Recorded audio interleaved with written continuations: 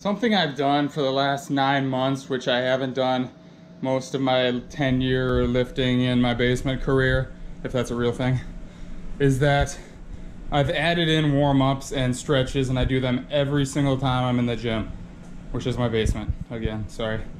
Um, doing them every single time. Warm up, in my opinion, is just as important as your actual workout. It's probably actually more important I do a lot of movements for uh, parts of my body that don't, that are kind of maybe lagging behind or don't get a lot of direct work in a full body program, like lower traps, rotator cuff, uh, tibialis anterior, and then just some stretches.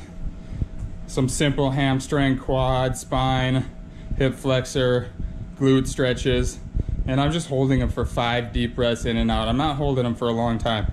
And just doing this over the last nine months has slowly but surely made me feel better. So I want to make this video. In between my warm-ups, I, I got to thinking of the saying like, oh, does a lion stretch before it, it kills a gazelle or a impala or whatever the hell animal it's killing that day? And the answer, I'm not sure, I'm not a wildlife expert, but I don't really think they do. People kind of spew this off as like you shouldn't be stretching. Then people talk about the performance degrading aspects of stretching, which if you look into the studies, it's really, if you stretch five seconds before a maximum vertical jump, your jump isn't as good. But after a couple minutes, that wears off and your jump is just as good as it was before. So stretching really doesn't impact your performance unless you're stretching right before a max effort. And it definitely makes you feel better.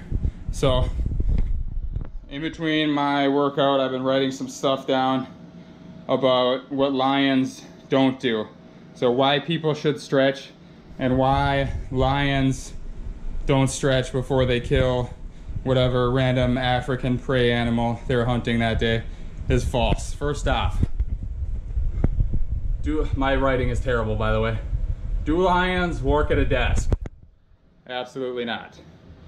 Desk work is bad for your spine, for your hips, for your knees. You're always sitting in like a 90 degree knee bend, 90 degree hip bend, and you're probably hunched over at the thoracic spine, and you probably have a forward neck posture too. All those things are bad for mobility. Lions do not do any of those. Second up, shallow mouth breathe. Do lions shallow mouth breathe? Again, I'm not an animal expert, but I don't think so. Probably not. I'm sure they're breathing through their nose at least most of the time. Do lions always walk on 100% flat ground like carpet, wood flooring, concrete, etc.? No, they absolutely do not. The African savanna is varied. There's hills, there's bumps, there's prairie dog holes or whatever, meerkat holes. I don't know exactly what kind of holes there are. Sticks and stuff laying around, rocks, whatever. They're not walking on flat ground. There's inclines, there's declines. There's lots of stuff. They're not just walking on flat ground, which flat ground is not good for your ankle mobility or your foot mobility because your foot joint is never having to articulate. It's always walking on flat ground. And I'm gonna skip ahead here because this one kind of goes hand in hand with flat ground. Do lions wear shoes or clothes? No, they do not. Lions don't wear shoes. Their paws are constantly on the ground moving around, adjusting. They're getting all that feedback from their brain, like, hey, hey, there's a hill here, there's a rock there, there's a poisonous snake there, there's a meerkat burrow there. Don't walk into that stuff. And they don't wear clothes either. Clothes are restrictive. I don't know if you guys have ever wore a pair of jeans and you try to bend down into a full squat to get something and you rip the chode hole out. I've done that before to one of my favorite pairs of jeans and now I turn them into Daisy Dukes to scare my girlfriend. Only I think she liked it.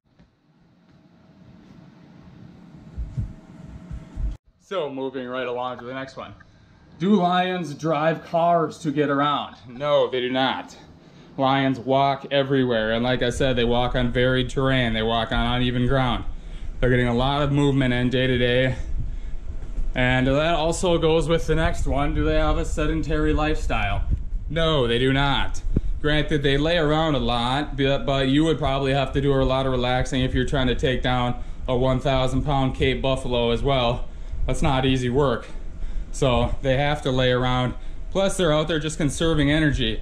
They're not like us where in the next meal is a walk to the fridge or ordering Uber Eats on your phone, their next meal is more than likely going to try to kill them back. They're getting kicked in the face with hooves from giraffes and it is not easy to get food when you're a lion. So they do not have a sedentary lifestyle despite all their lounging around. Next up, do lions sit on toilets? No, they do not. Sitting on toilets, just like sitting in your office chair, is not good for you because you're not getting into a full squat. Once again, you're at that 90 degree knee bend, 90 degree hips, probably leaning over, probably on your phone, checking your Amazon wish list and seeing if you should order anything, see if any price drops happen. Lions are not doing that. Lions are doing a full squat to defecate out on the African savannah. So, no, lions do not sit on toilets. And last but not least, do lions sleep on memory foam mattresses? No, they do not. Lions sleep on the ground, sleep on a firm surface, and if you're sleeping on a firm surface, you need to relax your body. You need to let go of all the tension and just kind of let everything loose so you're nice and comfortable on a hard ground. If you're tight, if you have tight muscles or bad posture, bad mobility, and let's, let's actually lie on the ground for this one. If you're lying on the ground here, and let's say your oblique is maybe tight here, or your back muscles are tight, your shoulders are tight, everything's tight, you're not you're not going to be in a comfortable position unless you're laying on something like a memory foam, where a lion is laying on flat, hard ground, but they're all loose. Everything's loose, so they're just relaxed here, and everything's just kind of relaxing and compressing down, and they've been doing that their whole lives. They're not used to memory foam mattresses. They weren't raised in a crib they were raised out in the wild and actually I don't know if they were raised, whatever. They grew up in the wild, so they're not used to memory foam. They're relaxing, they're sleeping out there. So long way to get my point across is that you are not a lion and you should be stretching, especially if you do all of those things I have listed up there. You definitely should be stretching. You're gonna feel better, you're gonna perform better, and stretch please.